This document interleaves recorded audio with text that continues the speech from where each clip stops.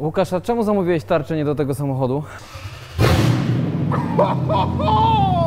Kończyło się. Pierwsza puszka się skończyła. A to miało wystarczyć na cały projekt. Nikt ci tego tak jak bąk nie zrobi. Do czego się nie dotkniesz? Wydech się rozpada. W ogóle szkoda mi czasu, żeby spawać to, kleić, założyć.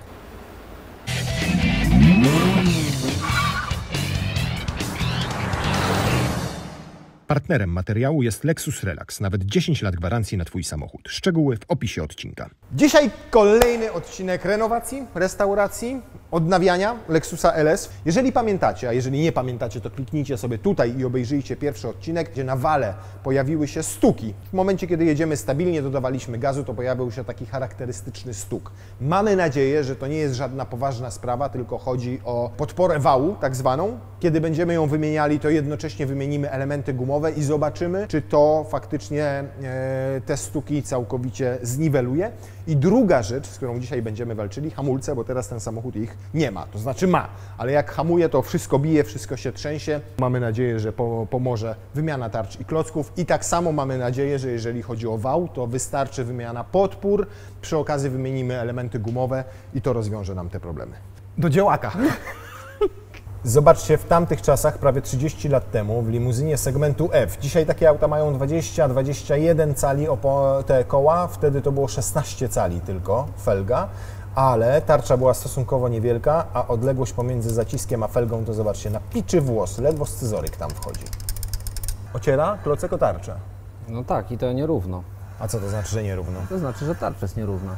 I to jest powód bicia, tak? No, prawdopodobnie to jest powód e, tych drgań na kierownicy. Czy przy okazji tutaj, jak będziemy robili te hamulce, to jakieś niespodzianki mogą nas czekać? Oczywiście, że mogą, bo mamy tylko tarcze i klocki.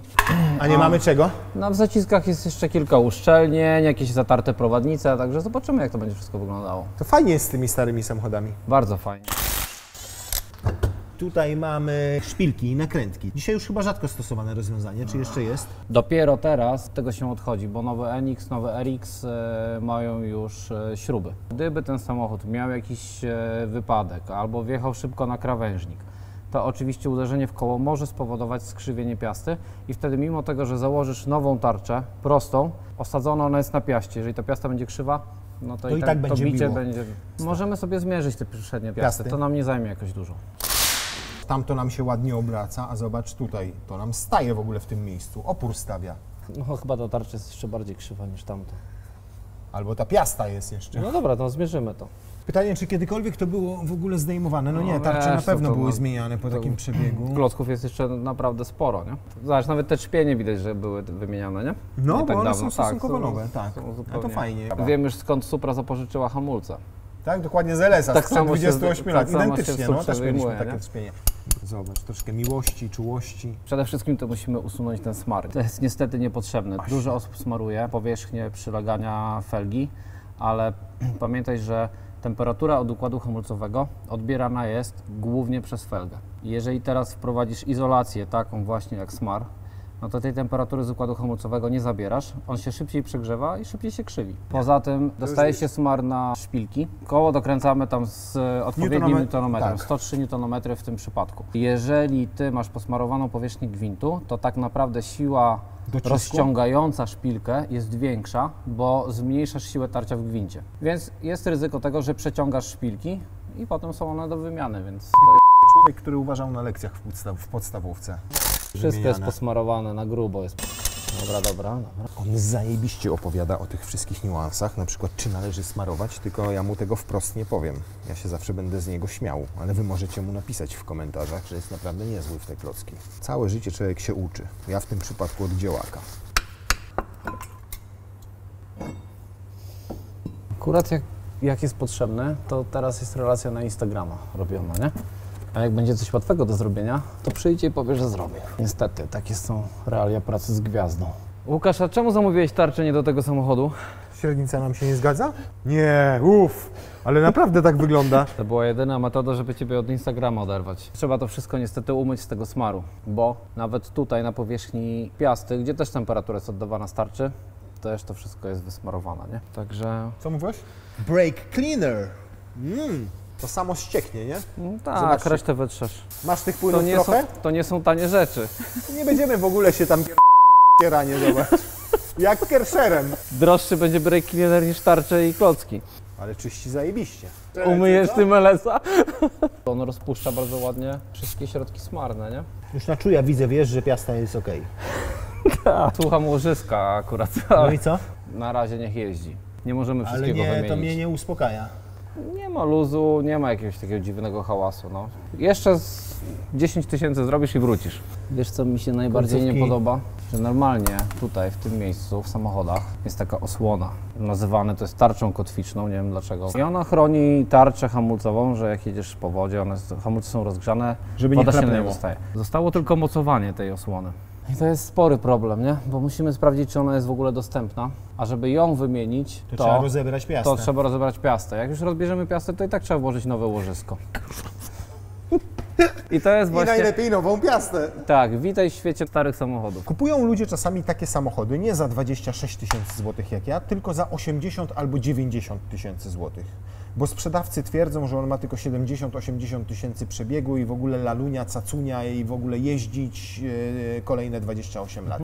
Czy w ogóle należy wierzyć w istnienie takich samochodów? Takie mogą być, natomiast to nie sam przebieg świadczy o tym, jak samochód e, jest, tak, jest. nawet nie wyeksploatowany, jak jest stary, bo właśnie takie rzeczy, ta osłona, no to to, że ona skorodowała, gdzieś tam odpadła albo ktoś ją ułamał, to może się wydarzyć w samochodzie, który zapłacisz 80 tysięcy złotych i ma 80 tysięcy przebiegu. Nie? Zużycie łożyska samo w sobie, to wiadomo, zależy bezpośrednio od przebiegu albo od tego, czy jeździłeś po jakichś dziurawych drogach i tak dalej. Nie? Chce mi się trochę wierzyć, chociaż to jest w sumie możliwe, że to jest 400 tysięcy gdzieś tam około samochód 400. że to jest cały czas oryginalna piasta. Pewnie gdzieś to łożysko było wymieniane. Że łożyska wyjeździły 400 tysięcy, to jest naprawdę rzadkość. Jeżeli były robione, to bardzo dawno temu. Szkoda, że nie ma tych osłon, bo widzisz, tutaj z tyłu to jest, Tu jest ta ta osłona. osłona, no. Nie? I ona się trzyma i wszystko jest ok. Brak tej osłony, ten smar, to bym obstawiał jako główne przyczyny tego, że te tarcze się zaczęły skrzywiły. bić. Czyli prozaiczna rzecz, brakuje nam jednej tarczy, hamulec rozumiem w drugiej pewnym też. momencie został przegrzany, chlapnęła na przykład na niego woda i się tarcza wykrzywiła. Tak jest. One na ciebie czekają. Trzy sztuki? Pra, nie, no prawa i lewa. Dobra, Obydwie cena. są w Warszawie. Cena. Po 152 zł na Co? No dobrze, a sprawdź łożysko i sprawdź piastę, bo to wtedy mamy problem w ogóle przedniej osi, kół i wszystkich elementów rozwiązany, tak? Praktycznie wszystkie Znowu eksploatacyjne łożysko mamy na elementy. 200-300 tysięcy kilometrów, piastę na kolejne setki tysięcy kilometrów, mamy osłonę tarcz, tarcze wytrzymają kilkadziesiąt tysięcy kilometrów, przygotowujemy go po prostu na cacy. O, łożysko jest u producenta. O kurde, miesiąc by musiał stać. No to nie, to, to już odpada. No. Ale rozumiem, że jest, tak? Jest dostępna, tak. Czyli z Japonii będzie szło. I ile będzie kosztowało? 580 zł netto sztuka. Pierścień zabezpieczający to łożysko jest dostępny 5 sztuk w, e, w Warszawie, więc to nie problem. Oprócz tego potrzebujemy na pewno już uszczelniacz tego łożyska. No to już rozumiem, są drobnostki, tak? Tak, cenowo też, bo pierścień 11 zł, uszczelniacz 245 zł, nie? Zajebiście, ja jestem w szoku, że takie rzeczy są w ogóle dostępne. Dobrze, to zakładamy dzisiaj po prostu nowe tarcze, nowe klocki. Obejrzę jeszcze ten tył, bo tu jest jeszcze pierścień od ABS-u i to jest na pewno droga rzecz i dobrze by było tego nie zepsuć, bo ABS działa, nie ma żadnych błędów, nie ma żadnych kodów, a największym wyzwaniem, podejrzewam, w tej całej operacji będzie odkręcenie, a później wyjęcie tego czujnika e, prędkości koła. Niestety problem jest taki, że najczęściej zapieka się w, tutaj w wejściu Czyli nie w w piastę. miejscu mocowania śruby, tak, możemy sobie tam, tak? spróbować to odkręcić, żeby To już wiedzieć, może co przy nas, piaście, bo co zaraz nas się okaże, że nie będę mógł nim jeździć. Nie, sprawdźmy teraz. No bo jak się okaże, że przy piaście nie da się tego wyjąć, to musimy coś pokombinować z tym czynnikiem ABS-u, nie? Daj to może ja w końcu coś zrobię. No przecież do tej pory wszystko ty robiłeś, daj mi coś odkręcić. A może w sumie to jest duże ryzyko, że się urwie, to może lepiej Nie. jakbyś ty to urwał. Jestem w szoku, że w ogóle tak To jest poszło. dopiero połowa albo jedna trzecia tematu. To, że się wykręciła wyjdzie, śruba, zobaczysz. to jest jeszcze... Jestem pewien, wiesz, co, Mhm. jak nie będzie chciało wyjść, to go to rozpuścimy. O, zwycięstwo. Jeden problem będzie z głowy. Czujnik mamy w całości. Trochę przyjął magnes korozji, ale to nic. Nosi ślady walki. To dziwne, że ten ABS w ogóle działa, bo tutaj to jest taka tarcza z takimi wypustkami, a one są wszystkie Zatkane. zatkane korozją. korozją. Nie? Uszczelny było, dopóki uszczelniacz był dobry. Zostawmy to jak jest i tak to wszystko będziemy mieli rozebrane. Rozebrane. Przy okazji wymiany łożyska piasty. Oczyścimy to sobie wszystko i nie będziemy musieli wymieniać, rozumiem, tego koła od Tak. ABS-u, tak? Dobra. Spodziewałeś się, że to będzie co, prosta robota? Ja spodziewałem się tak. Jak przy suprze? Spodziewałem Wszystko się, że to nowe? tak, wiesz, półtorej godziny i będziemy mieli wymienione całe Układ przednie- hamulcowy już byśmy tak. mieli dawno poskładany, gdybyśmy na takie szczegóły nie zwracali uwagi. Bicie tarczy nie wynika tylko z tego, że tarcza sama w sobie jest krzywa, tylko ona może oczywiście mieć różną grubość, może mieć rozmazane klocki na swojej powierzchni i to wszystko może powodować bicie. No ja mam teraz rozmazaną, bo jeździłem po torze i Super. powoduje takie bicie, że ja pierdzielę. Dwie, s- dwie setki. No, pewnie okej. jest ok, no możemy sprawdzić. Tylko pamiętaj, że dwie setki tutaj, ale dwie setki tutaj na tarczy będą powodowały więcej bicia, nie? Bo na innej średnicy już mierzysz tą, e, tą krzywiznę. Przykręcić tarczę, złożyć tak jak jest, bez tego smaru wyczyszczone i zmierzyć jeszcze bicie tej nowej tarczy, bo tak powinno się zrobić, tak? Oczywiście z tymi hamulcami to też nie do końca tak jest, bo czasami zmierzysz bicie tarczy na zimno, czyli tak jak teraz, jest wszystko ok, a, będzie- problemy rozgrzeje masz się? jak się rozgrzewa, nie? Poniżej dwóch, więc No to czyli jest jest dużo ok, lepiej. no. Łożysko jest w dobrym stanie, już to słyszę. Kręcę i wiem. Odkręcaliśmy ten czujnik dziesiątką, nie? Po tej robocie ABS-u to nie będziesz. No, O. tak myślałem właśnie, że to się właśnie... Mieliśmy. Mhm. Czyli przy zmianie piasty to naprawimy. No to, to nie będzie tani element. Czyli do listy dodajemy czujnik prędkości koła, przynajmniej jeden. O, to pokazującej jest front. fajne logo. Tego już się nie widuje. A co to za logo? Stare logo Toyoty. Naprawdę? Mhm. Ten samochód Jeszcze- jest tak stary, że ma takie stare logo Zanim Toyoty? były jajka, to było logo Toyoty. Ale to 95 rok? Nie, no, jeszcze dużo wcześniej. starsze. No. Może to były wcześniej, wiesz, w jakiejś Corolli klocki hamulcowe. Może te, co ty masz? Może pomyliłeś klocki. Century może to było już wcześniej, nie? A, Toyota Century. Okej, lata 80, Mm. tak? Też te strzałki No. oznaczają, że trzeba te blaszki złożyć kierunkiem obrotu tarczy, jak jedziesz do przodu. Dziwne było, że już po jednej stronie były takie, No. takie same, a po drugiej stronie też były takie same, więc już jak ktoś to grzebał, to tego nie wiedział. Pozamieniał to stronami. Poza tym pozamieniał jeszcze kolejność tych e, blaszek, bo było, naj, były najpierw te, a później te, a powinny być najpierw te, a później te. A na Tak. co to wpływ miało? Ma to znaczenie, jak się po prostu układa później klocek, w momencie, kiedy wciskasz pedał hamulca, nie? czy on tym jarzmie stuka, czy nie stuka i tak dalej. Producent sobie to tak wymyślił, to składamy tak, jak sobie to producent wymyślił, nie? A nie, jak to sobie pan Kazio wymyślił. No właśnie. Kupiłem auto za super niską cenę, w super stanie technicznym. Mamy to nagrane chyba. Mamy to na piśmie nawet. Tak jest. To dobrze, nie kupiłeś w złym stanie technicznym. Ale ładnie wygląda? Tak, nie trzeba, No. go, nie trzeba go lakierować. Póki co od zewnątrz.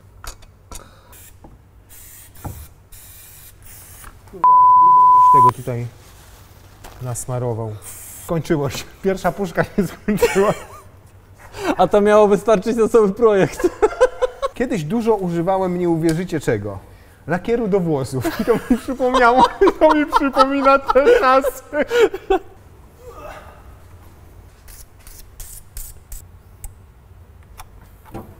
Trzeba będzie opuścić samochód, zobaczyć, czy nie mamy za dużo płynów w zbiorniczku. Zanim zamocujemy koła? Zanim znowu cofnę tłoczki, bo jak cofasz tłoczki, no to poziom płynów w zbiorniczku się podnosi, Okej, więc okej. jak wiesz, masz zużyty układ hamulcowy, no to ktoś pewnie tam dolewał tego płynu, więc jak cofniesz się na maksa, to ten płyn się wyleje. Zawsze tam warto sprawdzić, ile jest. Dobrze, teraz czy potem? Nie, Teraz, no, bo, wszystkie. nie no, jak wszystkie cofnę, to już będzie za późno. Się wyleje i tyle. Trzeba teraz sprawdzić, ile jest.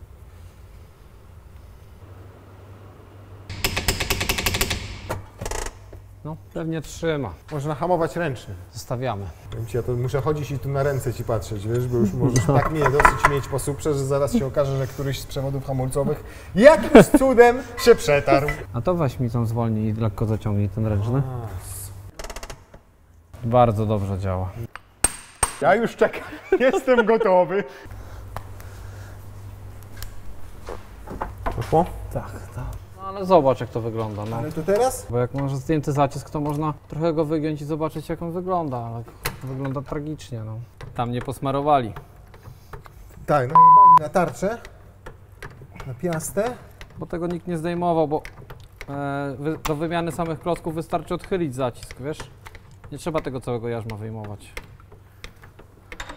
Znaczy całego zacisku. No ale kiedyś tarcze też musiały być wymieniane.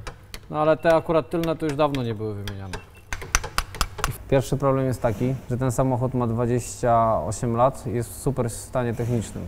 Więc czego się nie dotkniemy, to trzeba naprawiać.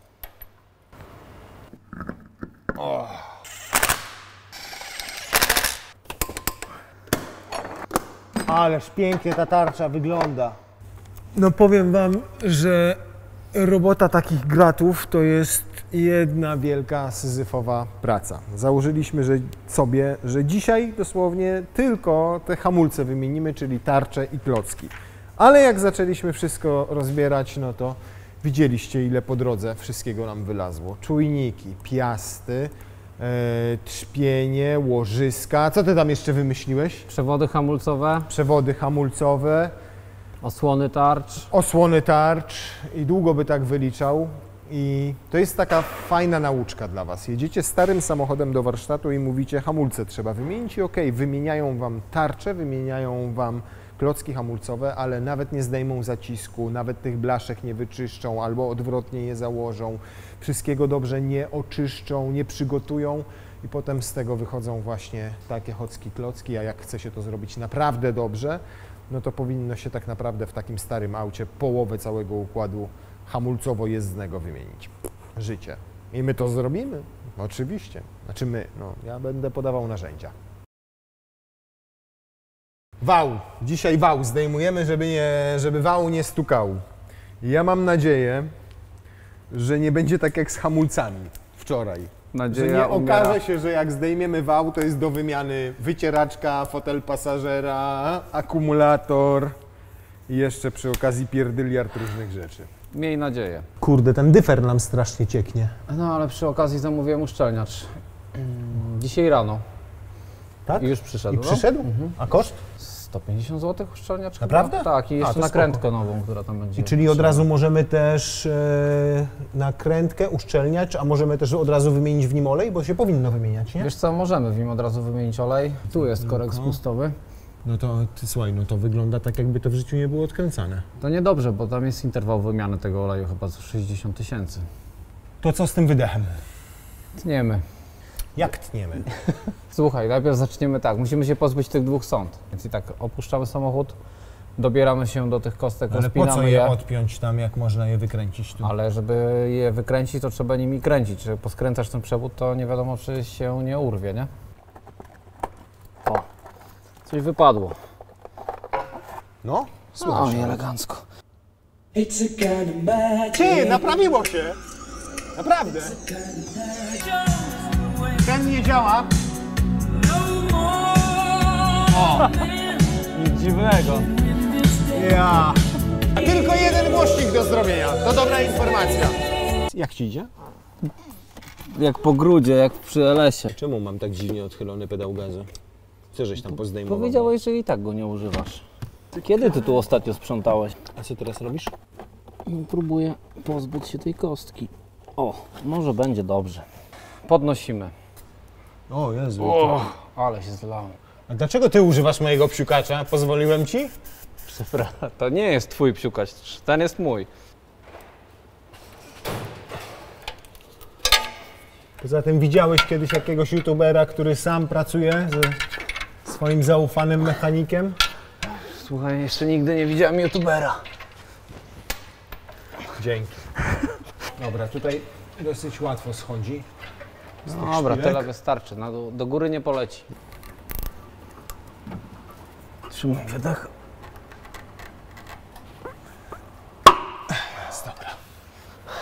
Zobaczymy jak brzmi LS400 bez katalizatorów, bez trzech tłumików. Czterech w zasadzie. Jało! Ale koza!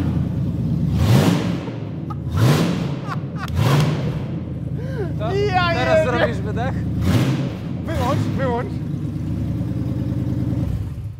Może zrobisz wydech w końcu. Ale kozak! Co? Może w końcu zrobisz wydech porządny. Zajebisty.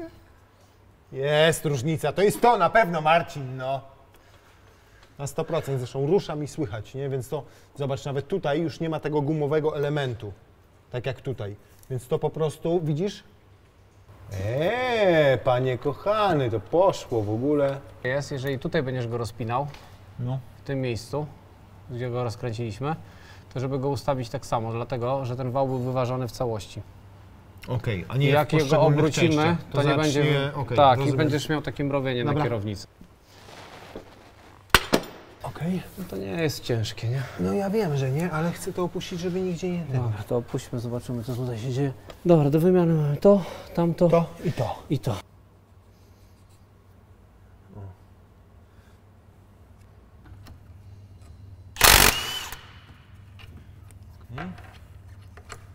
No ta jest okej, nie? Ta druga była w gorszym stanie, nie? Zobacz, ta... Ta jest popękana tutaj w tym Ona miejscu. Ale to za stuki nam nie odpowiadało, nie? E, No nie wiem. Też mogło? No tak, bo to powodowało, Pracowało, nie? cały, wiesz, góra-dół pracował, nie? Dobra, okej.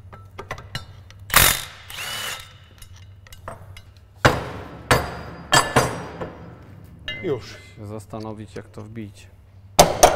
I teraz tu jeszcze. Tu.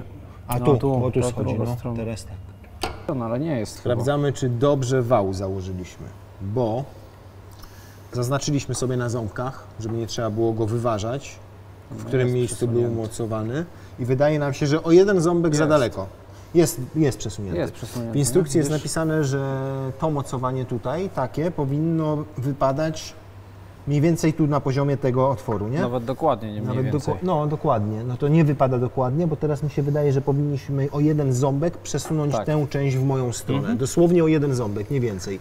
No dobra, to co? Pod samochód z nim, nie? Nie. Jak nie? Jeszcze jest jedna rzecz do zrobienia. Co?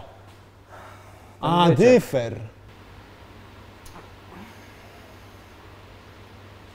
Jak kupujesz takie auto, które ma kilkaset tysięcy kilometrów przebiegu? Też lepiej od razu wymienić w dyfrze, w skrzyni biegów oleje? No jeżeli, Nie liczyć na to, co mówili poprzednicy? Poprzedni Jeżeli- właściciele? jeżeli masz udokumentowaną tą historię i możesz wierzyć, że było wymieniane, no to nie ma sensu, to jedziesz dalej z tym interwałem. Okej. A jeżeli nie masz pewności, no to wymieniasz. No dobrze, a ile sprawdzałeś, ile kosztuje uszczelniacz? Sprawdzałem, bo go zamówiłem, nawet przyszedł, tylko nie pamiętam z głowy. To później zobaczymy w podsumowaniu tych wszystkich części.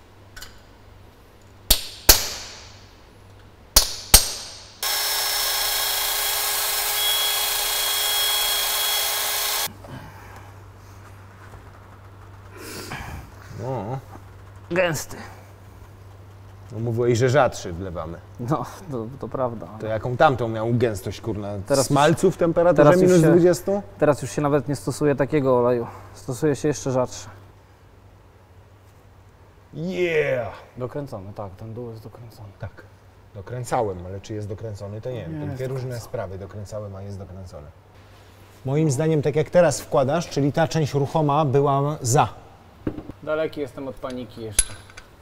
No bo to jest samochód w bardzo dobrym stanie. Wymaga może, troszkę Może nie rzeczy. technicznym, ale w bardzo dobrym stanie. Chcieliśmy wymienić, bo prawdopodobnie od tego, przynajmniej tak myśleliśmy, pojawiają się stuki w e, wale. Czyli przy dodaniu gazów, pierwszy odcinek, jak sobie obejrzycie, tutaj kliknijcie, to właśnie tutaj coś nam stukało. Wydane, wydaje nam się, że to było to. Ale skoro już zdejmowaliśmy cały układ wydechowy i skoro zdejmowaliśmy cały wał, to doszliśmy do wniosku, że warto też wymienić takie gumowe elementy jak te. Ten z przodu tutaj, e, ten z tyłu tutaj tuż przy dyferencjale i ten tutaj przy skrzyni biegów. To są tak zwane tłumiki drgań skrętnych. Nie to, żebym ja to wiedział, tylko ten łysy drugi mi to wytłumaczył i powiedział. I jeden z nich, też to widzieliście, był delikatnie uszkodzony. O, tutaj w tym miejscu. Pęknięty tu, pęknięty tutaj. Tu pęknięty, więc był mocno pokancerowany. Teoretycznie mogły te stuki być też winą tych tłumików drgań skrętnych. A tu co chcesz pokazać? No bo tak naprawdę to jest w dużo gorszym stanie niż ta podpora. Ta podpora jest naprawdę ok, nie? Więc e, Czyli ma 28 lat i podpora wału ciągle Tak, no. zdawała egzamin. To teraz zakładamy tłumik i pojedziemy na jazdę testową zobaczyć, czy ustąpiły stuki i czy ustąpiły wibracje przy hamowaniu. a zanim zakładamy tłumik, to widziałeś tłumik? To jeszcze Może wszystko od razu trzeba straight spawać. Pipa zróbmy z niego. Nie no, to trzeba wszystko spawać, to się nie nadaje do, zakład- do No założenia. widać, że był rzeźbiony. Tutaj jakaś wlepka, nie? Tutaj ktoś wspawał to. Katalizatory wydają nam się oryginalne, ale tutaj niektóre części w tym tłumiku, zobaczcie, na przykład ten tłumik tutaj, ewidentnie z jednej strony jest zrobiony z aluminium, tak? Nie no, ze stali Ze stali, ale nierdzewnej. nie- nierdzewnej, a z drugiej strony jest te wspawana taka część, która jest zardzewiała, No czyli ze stali Z rdzewnej. nim się stało już to, co z tymi środkowymi, widzisz. Przepaliły się Tak, już się cały przepalił. i Nie? tutaj też jest przepalony. Ten To już jest teraz przepalony, ten już tutaj też jest praktycznie na wykończeniu. Czyli tak na dobrą sprawę, żeby to miało ręce i nogi, to cały układ wydechowy należałoby zrobić od nowa, może bez katalizatorów. A czy w Może- sensie zostawić katalizatory jeszcze stare, nie? Tak, od katalizatorów e, dalej praktycznie wszystko jest do zrobienia.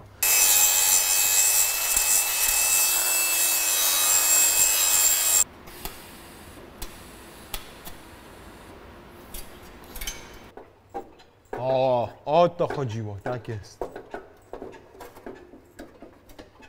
Dobrze, dobrze, dobrze, dobrze, jeszcze raz tak. Jak się nie urwie, Jest! to kręcę na dwójeczce. Ale jazda testowa już jutro, gdyż zbliża się północ i już nie mamy siły. Ale jak jazda testowa, to sprawdzimy co? Czy przestało stukać na wale i czy przestało wibrować przy hamowaniu. To dwie najistotniejsze rzeczy, natomiast nie sądziłem, że taka jedna część, mała podpora wału zajmie nam tyle czasu.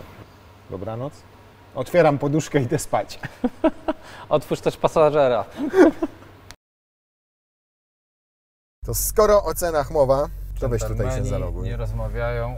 Ale my, dżentelmeni nie Marcin, Dlatego masz rację. my A my możemy owszem, Spokojnie. A mo- my możemy. mówić. A my możemy i możemy Wam powiedzieć, ile co kosztowało. Bo nie udało nam się rzeczywiście wszystkiego zrobić, e, ale wiemy mniej więcej, ile na przykład zrobienie hamulców kosztowało. Działa, działają? Sprawdź. Hamuje?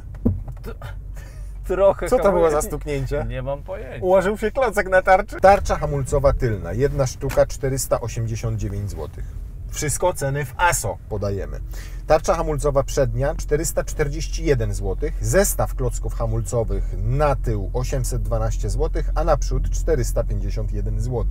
Jak na ceny w ASO oryginalnych części opatrzonych znaczkiem Toyoty tudzież Lexusa to nie jest dużo chyba, nie? Jak na samochód 28-letni. Szczególnie Lexusa. I to wszystko jest dostępne w zasadzie od ręki, bo to nam przychodziło akurat, to było w Warszawie, Też nie? tak, masz napisaną dostępność poszczególnych elementów. A, to było, to było u producenta, to znaczy, że gdzie?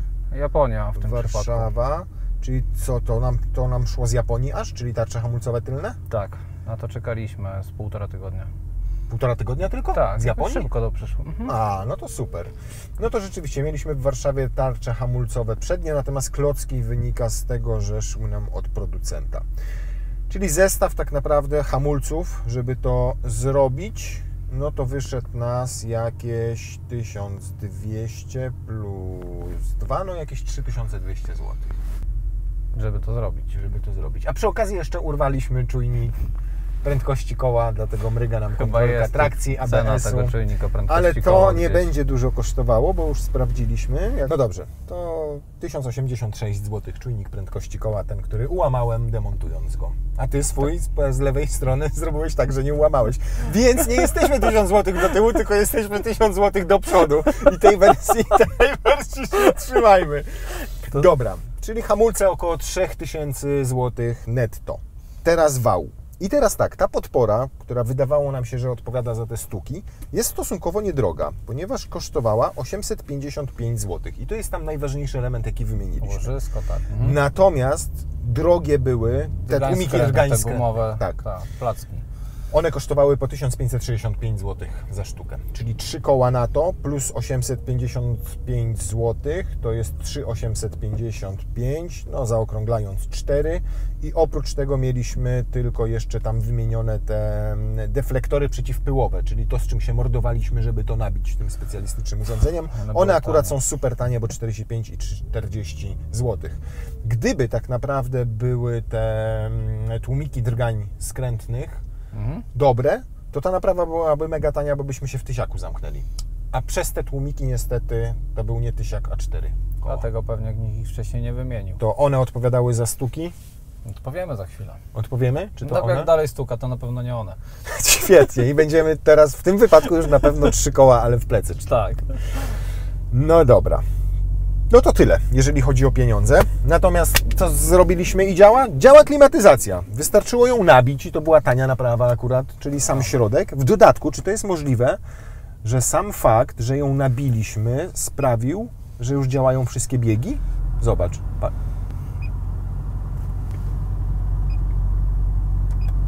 Nie, nie, Działa. nie jestem przekonany, że ten, ten ostatni Działa, działa. zobacz, patrz.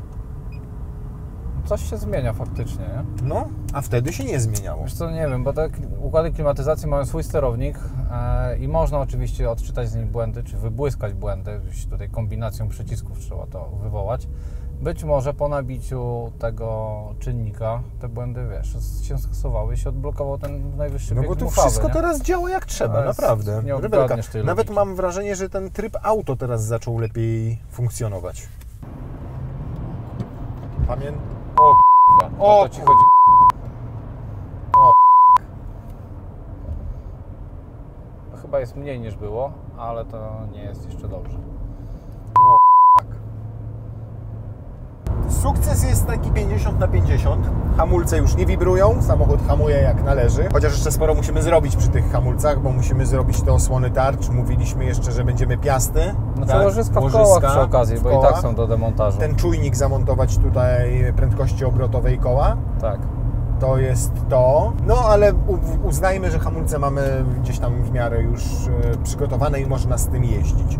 Z wałem się nie udało niestety. Nadal są stuki, prawdopodobnie... Z prawdopodobnie... wałem się udało, tylko to nie wał stukał. A, z wałem się udało. Z wałem... Nie, okazuje się, że z wałem było wszystko w porządku. W porządku. Nie, no ten jeden łącznik był na pewno urwany, to i tak to, Dobrze, to no. było do roboty. No niemniej teraz musimy zrobić tą podporę tylnego mostu. Mam nadzieję, że z tym będzie mniej rąbania się. Klimatyzacja działa, zaczęło działać, radio, samochód jeździ, skręca, jeszcze tylko musimy wyważyć koła.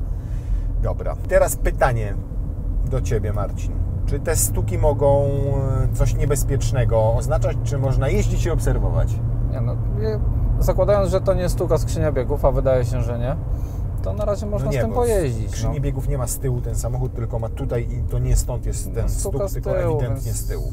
Dobrze, to Obejrzymy jeździmy. to, jak będzie na podnośniku. Kolejny odcinek już możemy zdradzić. Sprawdzamy, ile mocy po 28 latach zostało z tych 294 koni mechanicznych i z 420 Nm, które ma ten samochód. I to zrobimy. Sprawdzimy 0-100, jakie ma, czyli 6,9 powinno być według producenta, a my zobaczymy, ile to 6,9 albo 7,9. 16 już i nie 9 pamiętam. to tak. Nie, nie, nie, on jest e, bardzo, bardzo szybki, wiesz, sprawnie się zbiera do biegu i będzie, wierzę, że będzie ok. Ale po co to zrobimy? Bo chcemy sprawdzić, czy potem wymiana rozrządu, ale wymienimy też tutaj wszystkie świece, wymienimy przewody zapłonowe, co jeszcze tam wymienimy? Filtry, oczyścimy przepustnicę, czyli Tak. zrobimy taki porządek z całym napędem, z Te całym wycieki silnikiem. zlikwidujemy, Wycieki termostat. zlikwidujemy, termostat naprawimy i sprawdzimy, czy to wszystko będzie miało wpływ na potem na wzrost mocy i na lepsze osiągi. Więc już Was zapraszam na tamten odcinek. A tą podporą tego tylnego mostu to się w innym terminie zajmiemy.